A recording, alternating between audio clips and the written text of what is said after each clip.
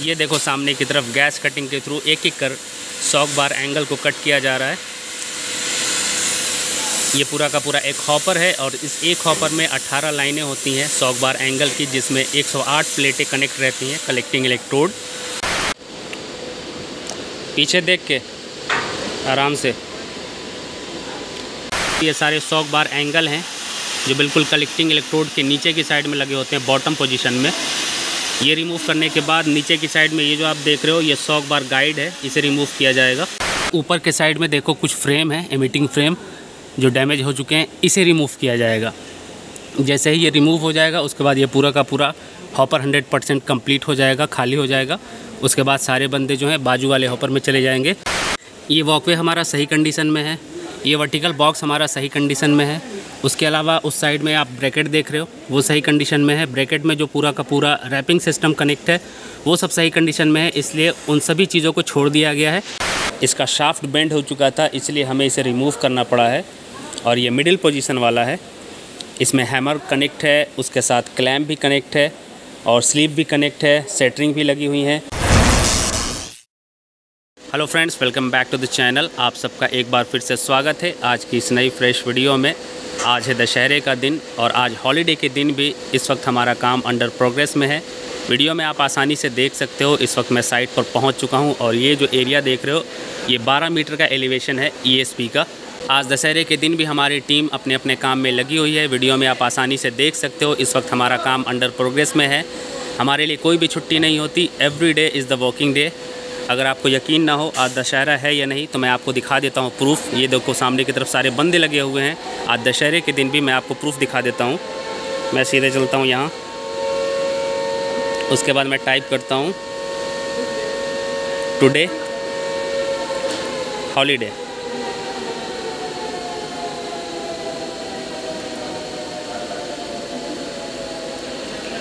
Today holiday मैंने type किया, search किया। देख लो आप। राजस्थान, इस वक्त मैं राजस्थान में हूँ और देखो Dussehra, October five twenty twenty two तो ये मैंने आपको प्रूफ भी दिखा दिया कि आज दशहरे के दिन भी इस वक्त हमारा काम अंडर प्रोग्रेस में है। वीडियो में आप आसानी से देख सकते हो, सारे बंदे अपने अपने काम में लगे हुए हैं। क्या ले आए? ये किस खुशी में भाई?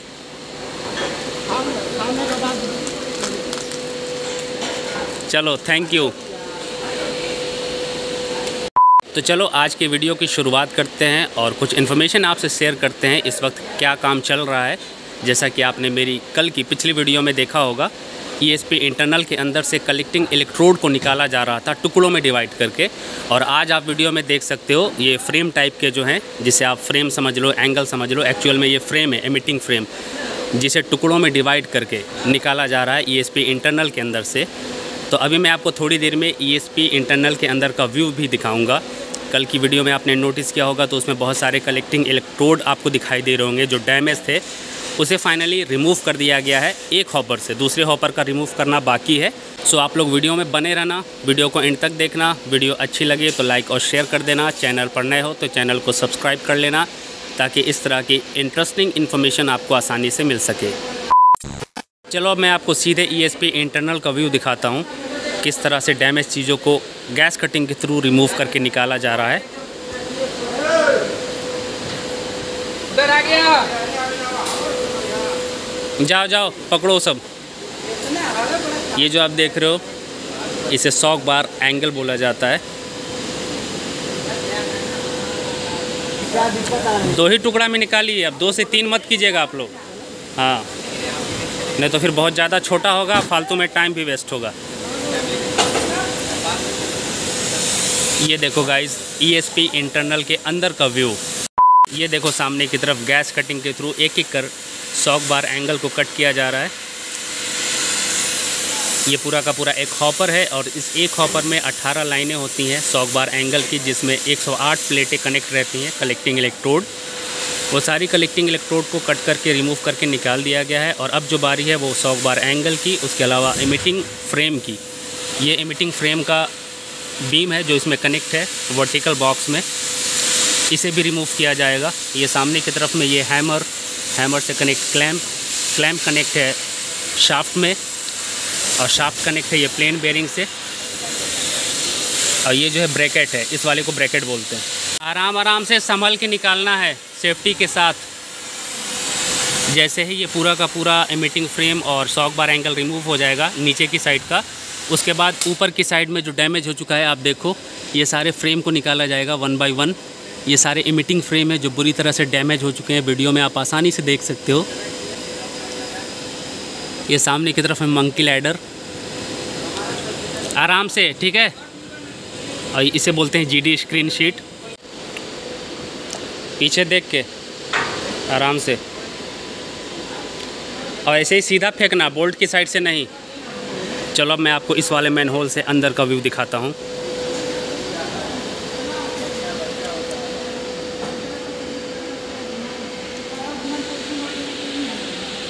गाइस वीडियो में आप देख सकते हो दोनों साइड से, इस साइड से भी और इस साइड से भी बारी बारी से सारी चीज़ों को बाहर की तरफ़ रिमूव किया जा रहा है।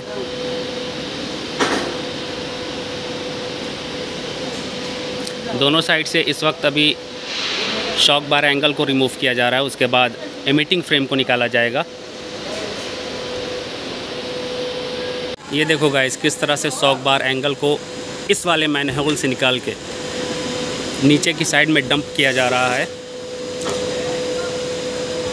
आराम से फेंको। इस वक्त जो आप वीडियो में देख रहे हो, ये सारे शॉक बार एंगल हैं, जो बिल्कुल कलेक्टिंग इलेक्ट्रोड के नीचे की साइड में लगे होते हैं, बॉटम पोजीशन में। ये रिमूव करने के बाद नीचे की साइड में ये जो आप देख रहे हो, ये सॉक बार गाइड है, इसे रिमूव किया जाएगा। और ये बंदा जहाँ पर खड़ा हुआ है ना, इसे वॉकवे बोलते हैं, इसे रिमूव नहीं करना है, ये सही कंडीशन में है। और वॉकवे जहाँ पर स्टे होता है जस्ट इसके नीचे इस वाले को हॉपर रिज कहा जाता है।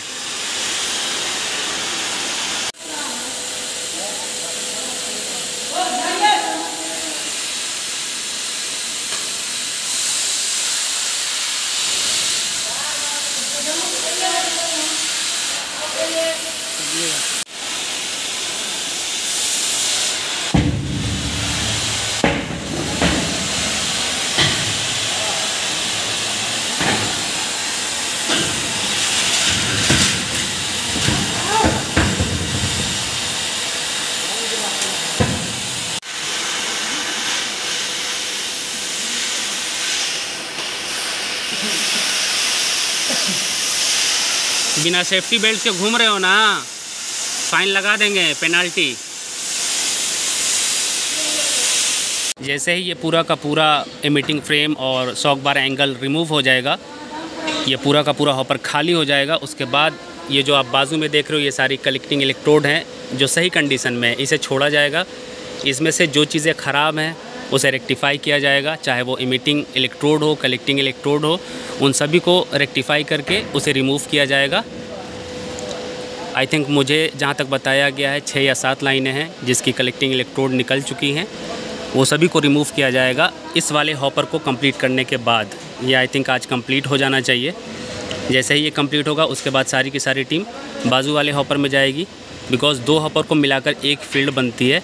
तो अभी हम सिर्फ़ 50 परसेंट फ़ील्ड में काम कर रहे हैं, जैसे ही ये कंप्लीट होगा, उसके बाद बाकी की जो 50 परसेंट फ़ील्ड है मतलब कि सेकेंड हॉपर उसमें हमारा काम शुरू हो जाएगा।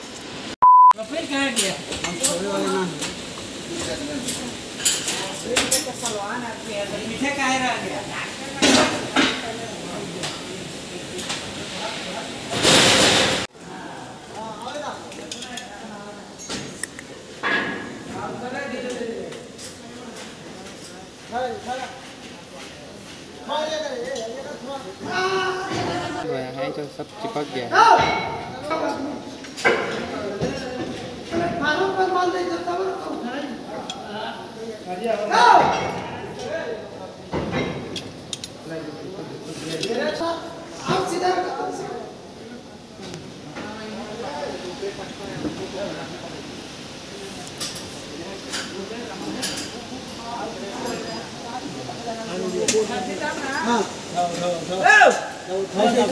लेके सीधे आगे गैलरी में निकलो।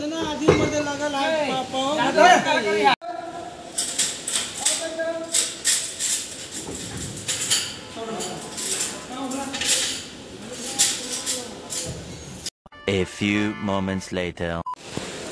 Guys finally नीचे की साइड की कटिंग कंप्लीट हो चुकी है। वीडियो में आप आसानी से देख सकते हो। थोड़ी देर पहले आपने देखा होगा यहाँ पर सौक बार एंगल बहुत सारे दिखाई दे रहे थे। जिसे कट करके रिमूव कर दिया गया है। सिर्फ़ ये एक सौक बार गाइड पड़ा हुआ है, जिसे अभी कट करके रिमूव किया जाएगा। इसके बाद ऊपर के साइड में देखो कुछ फ्रेम है एमिटिंग फ्रेम जो डैमेज हो चुके हैं, इसे रिमूव किया जाएगा। जैसे ही ये रिमूव हो जाएगा, उसके बाद ये पूरा का पूरा हॉपर 100 परसेंट कंप्लीट हो जाएगा, खाली हो जाएगा। उसके बाद सारे बंदे जो हैं, बाजू वाले हॉपर में चले जाएँगे। उसमें से सिलेक्टेड प्लेटें जो डैमेज हो चुकी हैं, वो सारी प्लेटों को रिमूव करना है। आई थिंक उसकी क्वांटिटी छः से दस है। उसके अलावा कुछ एमिटिंग इलेक्ट्रोड हैं जिसे निकालना है। वो सारी चीज़ें निकालने के बाद ये हमारा जो प्रोजेक्ट है वो कंप्लीट हो जाएगा पार्टिकुलर इस फ़ील्ड के लिए। इसके अलावा तीन फील्डें और हैं। उसकी इन्फॉर्मेशन आपको आगे की वीडियो में मिलेगी। ये वॉकवे हमारा सही कंडीशन में है। ये वर्टिकल बॉक्स हमारा सही कंडीशन में है। उसके अलावा उस साइड में आप ब्रैकेट देख रहे हो, वो सही कंडीशन में है। ब्रैकेट में जो पूरा का पूरा रैपिंग सिस्टम कनेक्ट है, वो सब सही कंडीशन में है। इसलिए उन सभी चीज़ों को छोड़ दिया गया है। वो सिर्फ़ एक एंगल है। उस एंगल को हमें रिमूव करना है वहाँ तक तो ये पूरा का पूरा टास्क कंप्लीट हो जाएगा। वीडियो में आप देख सकते हो गाइस जब ईएसपी इंटरनल का एरिया पूरी तरह से खाली हो जाता है तो किस तरह का व्यू आपको दिखेगा? ये नीचे की साइड में हॉपर है। ऐश आपको दिखाई दे रही है, इसी में ऐश कलेक्ट होती है, इसी हॉपर में। और इस हॉपर में जो ऐश कलेक्ट होती है, वो पाइपलाइन के थ्रू ट्रांसफ़र साइलो तक जाती है, जो बड़े बड़े साइलो बने होते हैं बाहर की साइड में। वहाँ जाके स्टोर होती है या फिर ऐश डैम तक जाती है। ऊपर की साइड में आप देखो, पूरा का पूरा आपको खाली दिखाई देगा। जब इसमें सारी चीज़ों को इंस्टॉल किया जाएगा one by one ESP internal erection के टाइम पर, तब सारी चीज़ें एज़ इट इज़ बिल्कुल ऐसी हो जाएँगी। जो बाजू वाले फ़ील्ड में आप देख रहे हो या वो सामने वाले में, कुछ इस तरह से आपको पूरा भरा भरा ये पूरा एरिया आपको दिखाई देगा। सामने की तरफ़ में वो जीडी स्क्रीन शीट है, जिसमें बहुत सारे होल आपको दिखाई दे रहे हैं। A few moments later.